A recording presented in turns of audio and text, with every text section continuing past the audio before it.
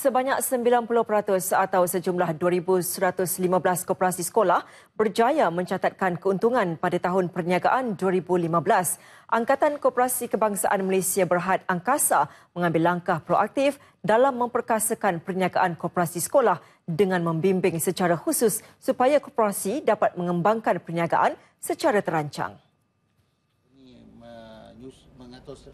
Menurut Presiden Angkasa Datuk Abdul Fattah Abdullah, kepimpinan koperasi perlu segera mengenal pasti bidang perniagaan yang ingin diceburi dan Angkasa akan memberi bimbingan yang sewajarnya.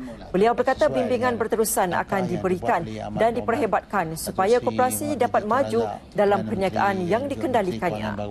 Dalam perhimpunan Agung UMNO yang uh, memberikan uh, penisaranan ataupun yang uh, mengumumkan bahawa kerajaan akan Uh, menggunakan koperasi dalam usaha untuk uh, membantu rakyat uh, menghadapi kenaikan kos hidup.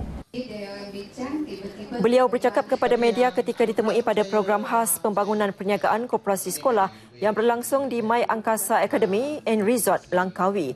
Program dua hari itu melibatkan seramai 56 orang ketua koperasi sekolah seluruh negara yang berpotensi mencapai perolehan sasaran RM1 juta ringgit menjelang tahun 2020. Tahun ini terdapat lima buah koperasi sekolah yang telah mencapai perolehan melebihi sejuta ringgit dan Angkasa mensasarkan 10 buah koperasi sekolah mendapat perolehan melebihi satu juta ringgit pada tahun 2017 nanti.